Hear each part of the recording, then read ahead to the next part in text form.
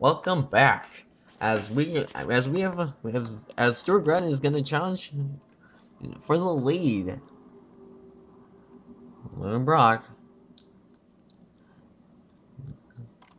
Now, William Brock, he he's trying to get through, get by, get down, but uh, he's unable to do it because,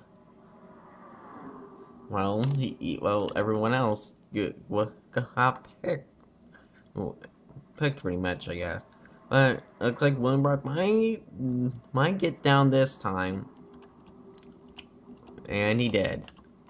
This looks like we have as the eight. He's gonna as he's gonna lead yet another lap, but he's gonna give the lead to the 50 of Griffin Lynn. As Daniel Voiles is is slow is all the way back here. But he's still in draft he's still in drafting position. Looks like the 20 Josh Trash is going to take the lead once again. I know this is not his first pole. But he, but he, but, but this guy started on the pole. And, um, we'll, we'll see how good he does. The question is, will there be a rat? And they were all, and a lot of them are single file for safety reasons just to make sure they don't rack. Remember, these guys are very careful.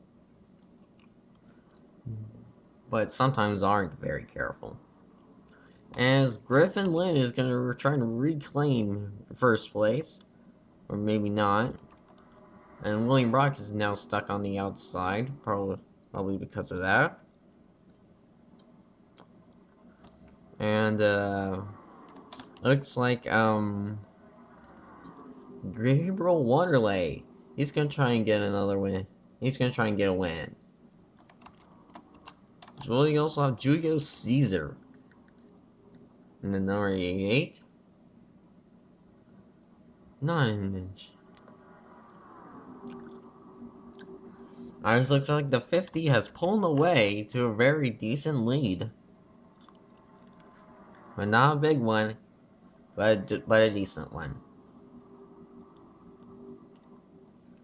And um, you'll see. Okay. Marty Johnson, he's a he and Payne Beasley are doing pretty good. And Payne Beasley made some moves here.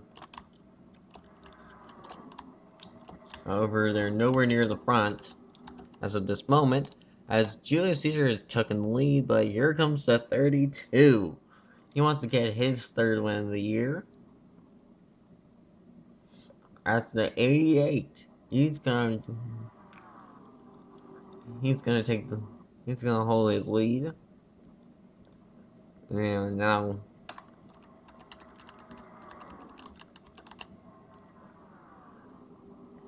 as the 32. He's going to...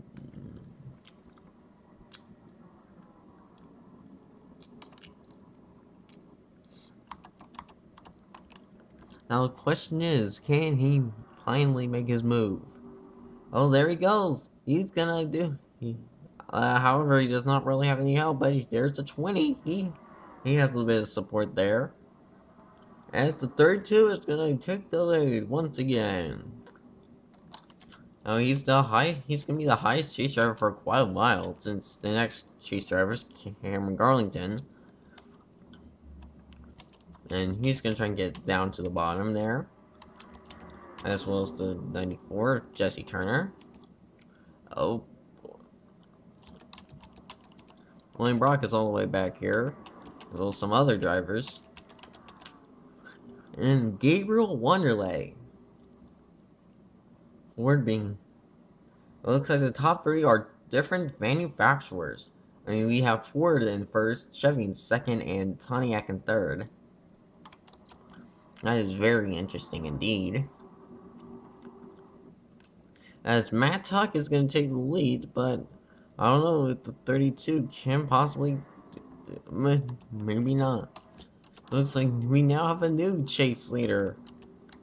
And his name is Cameron, Cameron Garlington. Cameron Garlington. He's gonna try and lock himself into the chase. He's gonna try and uh, go ahead and go underneath the one.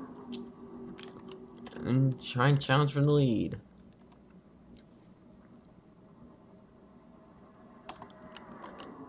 Ford is very, very dominant.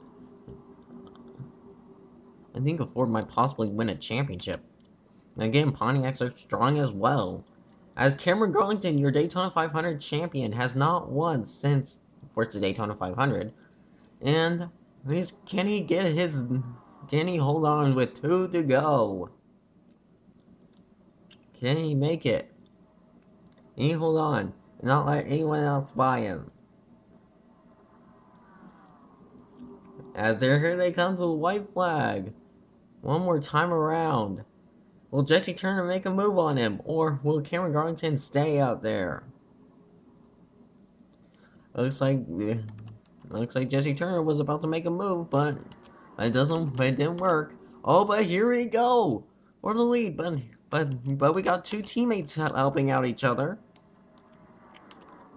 Uh, th but then he helps Jesse Turner in the end.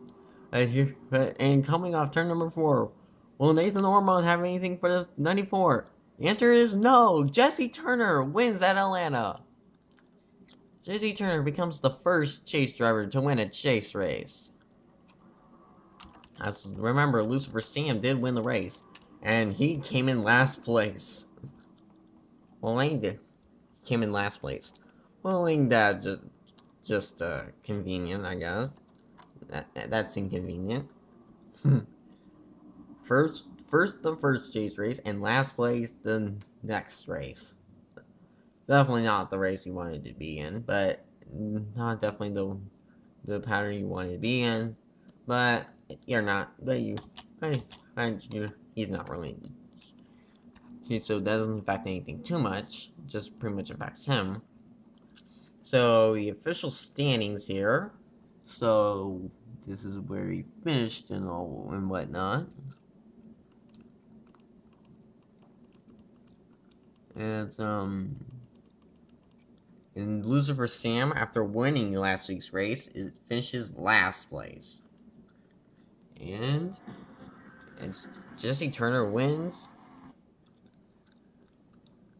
And uh, we take a look at standings, Gabriel Wanderley does have the points lead. That is for sure. As well as Studemir, Garlington. So yeah, so here's the official standings. Just imagine your, uh, imagine the C's, the guy, the drivers with the C's next to their names, have 5,000 5, more points than, the, than any others. So Cameron Garlington would be first, and Amir Seymour Jr. would be second, Garlington third, Colin McGovern fourth, fifth, and then all the way down, sixth, 7th, 8th, ninth, 10th, 11th, 12th, 13th, 14th, 15th, 16th. So, yeah. Definitely, definitely strange. Strange indeed. So, so, well, there's a lot of convenience there. As uh, Rollington does have to win. Let me remind you of that. And the next race will be at Kansas for the Whataburger 400. So these are the settings here. So, thank you guys so much for watching, and I'll see you guys later.